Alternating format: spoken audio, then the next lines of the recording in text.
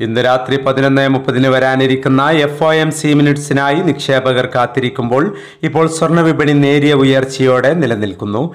ഇന്ന് രാവിലെ സ്വർണവില പ്രഖ്യാപിക്കുമ്പോൾ അന്താരാഷ്ട്ര മാർക്കറ്റിൽ ഔൺസിന് ആയിരത്തി അറുന്നൂറ്റി അറുപത്തിനാല് ഡോളറിന്റെ പരിധിയിലായിരുന്ന സ്വർണവില ഇപ്പോൾ ആയിരത്തി അറുന്നൂറ്റി അറുപത്തി ഒൻപത് ഡോളറിന്റെ പരിധിയിലാണ് എത്തി നിൽക്കുന്നത്.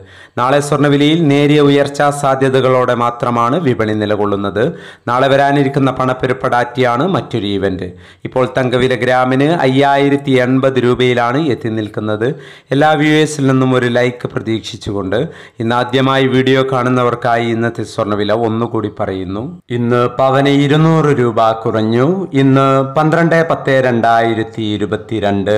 പവന് മുപ്പത്തിയേഴായിരത്തി മുന്നൂറ്റി ഇരുപത് ഗ്രാമിന് നാലായിരത്തി അറുന്നൂറ്റി അറുപത്തി അഞ്ച് ഈ വീഡിയോ നിങ്ങൾക്ക് ഉപകാരപ്രദമെങ്കിൽ വീഡിയോക്ക് താഴെ ലൈക്ക് ചെയ്യാൻ മറക്കരുത്. Thank for watching.